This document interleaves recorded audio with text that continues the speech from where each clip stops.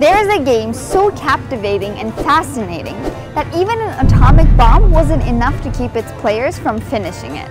Wow. The ancient Chinese game of Go has been framed as the last threshold of the superiority of human intelligence over artificial intelligence.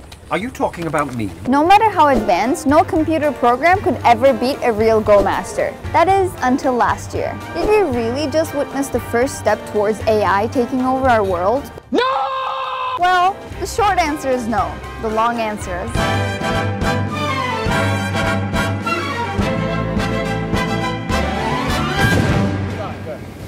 At the time of the match, every major news organization covered the story as a New Horizon? in AI research.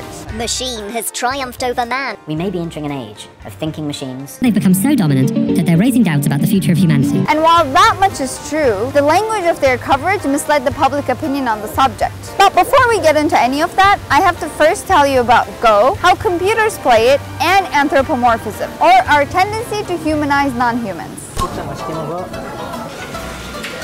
So a small company called DeepMind created the software and named it AlphaGo. I mean, softwares that could play the game had existed long before, but none could ever tackle a real Go master. But why was it so hard? I mean, after all, people had made computers that could play chess well enough to beat world champions way back in the 90s. Because Go is different than chess. Very different. もう一手かけてね今黒番ですけど黒は中央守りますね、 はい、The game is simple, or so it seems. There's a 19 by 19 board, two players, and black and white identical stones. It starts on an empty board. At each turn, one of the players places a stone at one of the 250 possible choices at their disposal. The aim is to gain as much territory on the board as possible. It's incredibly easy to learn, and yet extremely difficult to master. So then, how did AlphaGo do it? They employed a number of complicated methods which I don't fully understand. But for all the non-super geniuses like myself out there, here's the simple version. The program looks at a few solid moves to begin with, instead of running through all of them. Then tracks them a couple of turns ahead. All of this keeps numbers manageable for the computer. Then it chooses out several good strategies that seem to lead to a more dynamic game and tracks what would happen if it were to play those moves many, many, many turns ahead into the game.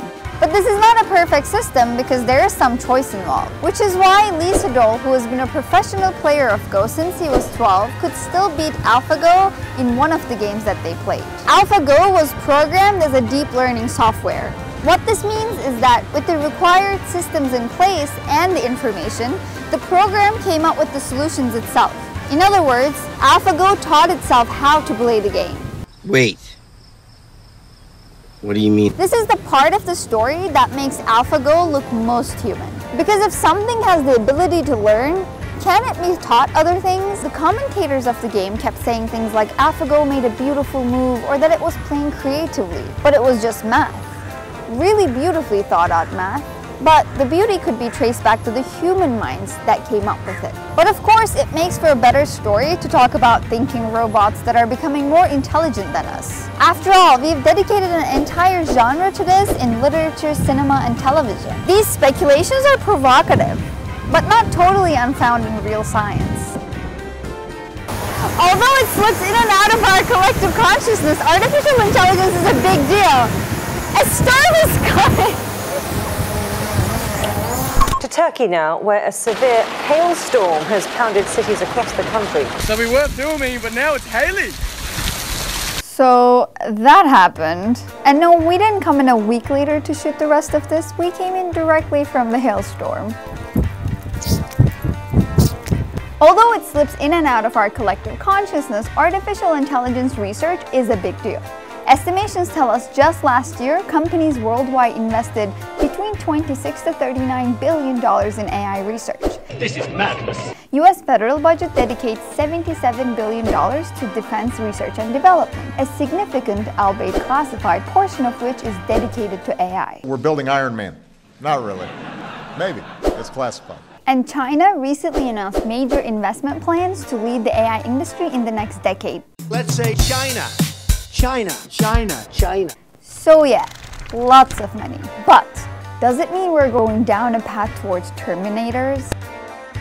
Some of the sensationalism is to spark general public's interest, of course. Media wants to be clickable and science wants to be understandable. And more importantly, fundable. Real science is slow and humble, but spectacles such as the match between world champion Lee Sedol and AlphaGo invite a broader public to take interest in AI research. So people love to talk about AlphaGo as though it's a real person. It plays and wins games, it teaches itself how to play Go, and we do this to other AI programs as well. I mean, we have Siri and Alexa. You suck, Siri. hey, don't talk to her like that. She's a lady. People already have robotic toys for their children or home assistants that can be personalized. In Japan, you can purchase a holographic female assistant, which some call a virtual girlfriend. 行ってきます。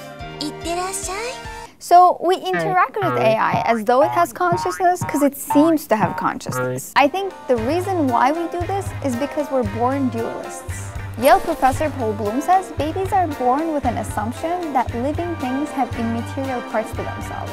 Some might call a soul. So given that, you might see how it is easy for many of us to imagine that these human-like robots have some immaterial existence, like even a soul. Just a final thought. Computers may be better at answering questions, but humans will always be the ones asking them. How rude! What do you think? Are computers that can play games precursors to conscious artificial intelligence? Or are we simply too eager to humanize anything that talks, looks, acts, even remotely like ourselves?